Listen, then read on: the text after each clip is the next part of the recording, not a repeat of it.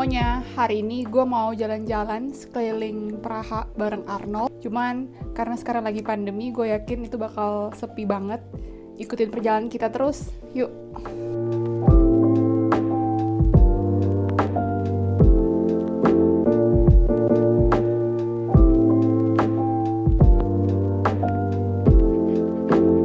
sekarang kita udah sampai di kota tuanya Praha cuman masalahnya kayak kita nggak bisa masuk kayaknya ada ada polisi Ada. nutupin nggak tahu kenapa.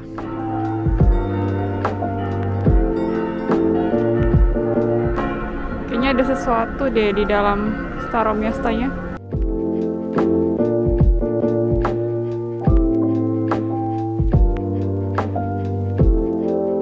gue ingat banget nih jalanan ini tuh rame banget dulu pas summer. Dan sekarang tuh bener-bener sepi nggak ada turis coy. Kosong. Nggak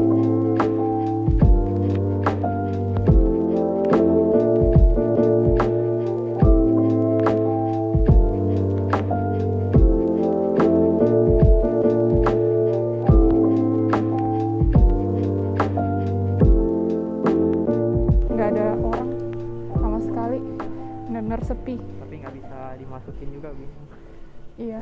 Kayak museum-museum masih tutup. Iya museumnya pada tutup. Sekarang kita ada di jembatan yang paling terkenal di Ceko.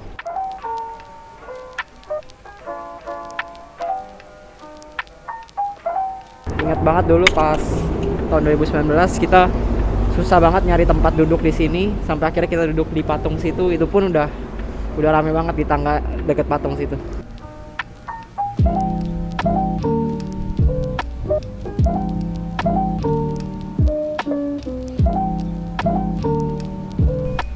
dari pinggiran Charles Bridge ini dari ujungnya Charles Bridge kita bisa ngeliat pemandangan kota Ceko. Bagus banget. Biasanya dulu ada eh, perahu-perahu kayak perahu bebek gitu loh. Cuma sekarang karena pandemi jadi nggak ada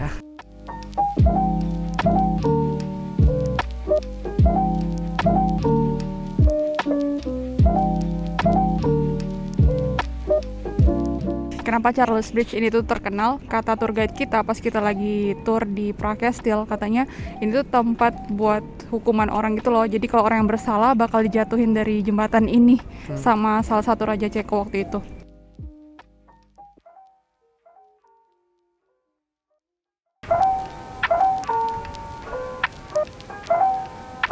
Nah jadi ini abis nyebrang Charles Bridge kita bisa lanjut ke namanya John Lennon Wall.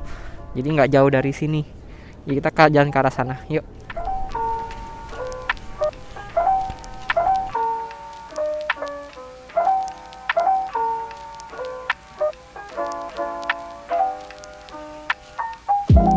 Jadi tuh ini tuh tempat di mana waktu pas zaman komunis orang-orang di Ceko tuh eh, nulis lirik-lirik lagu eh, The Beatles dan John Lennon. Jadi kayak eh, mereka tuh terinspirasi tentang eh, freedom of speech dan mereka tulis semua liriknya tuh di dinding ini.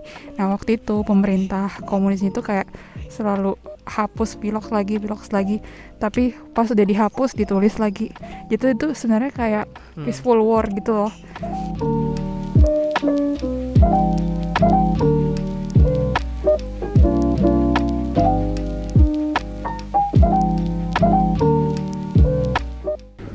Namanya Tredelnik teman-teman.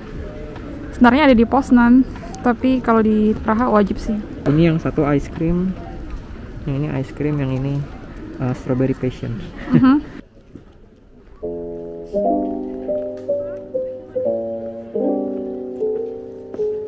Sekarang kita udah di Prague Castle, tapi sayangnya Pra- Tutup. Iya, kastilnya tutup buat visitor selama pandemi. Jadi mungkin nggak tahu mungkin next time kita bulan depan mungkin kalau udah membaik kita akan coba masuk ke sini.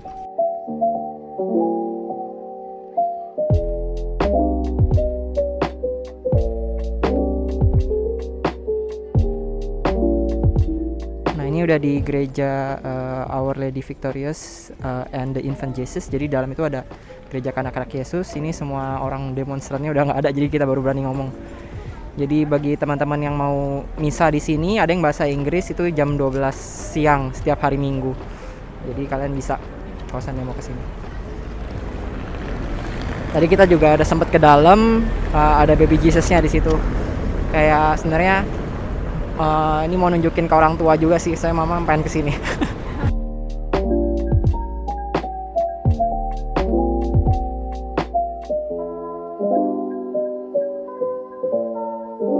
kita sekarang ada di atas Prag Metronom. Jadi ini kata teman gue dan kata museum yang waktu itu kita kunjungi sebelumnya itu ada patung Stalin. Jadi di zaman komunis ada patung Stalin tapi dibom. Jadi sekarang diganti sama Prag Metronom. Nah dari sini kita bisa ngelihat uh, pemandangan kota Praha dari atas. bagus banget Bagus banget.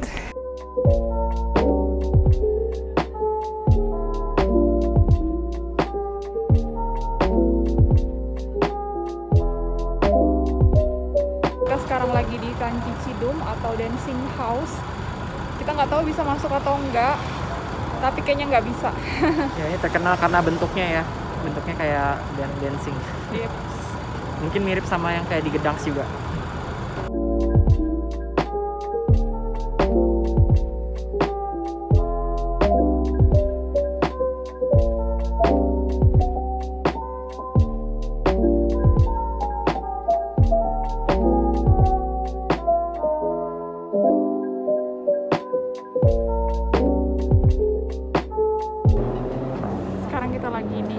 Bridge waktu malam. Kita mau lihat pemandangannya gimana pas malam.